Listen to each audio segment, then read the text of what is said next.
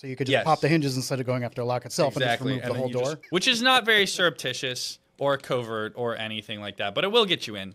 The Adams Rite mechanism is not really a lock in and of itself. It's more of like a deadbolt actuation patent. A lot of doors that are all glass, commercial doors, they have a metal frame, and the lock kind of flaps out Okay. and it's like the plated metal, odds are that that's an Adams Rite. So what happens there is there's this one pin that kind of swings left and right.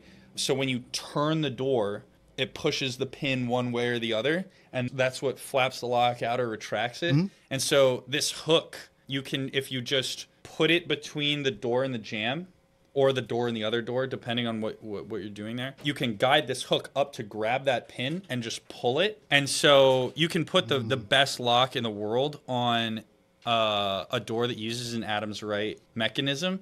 And if the fitment is poor, you're cooked.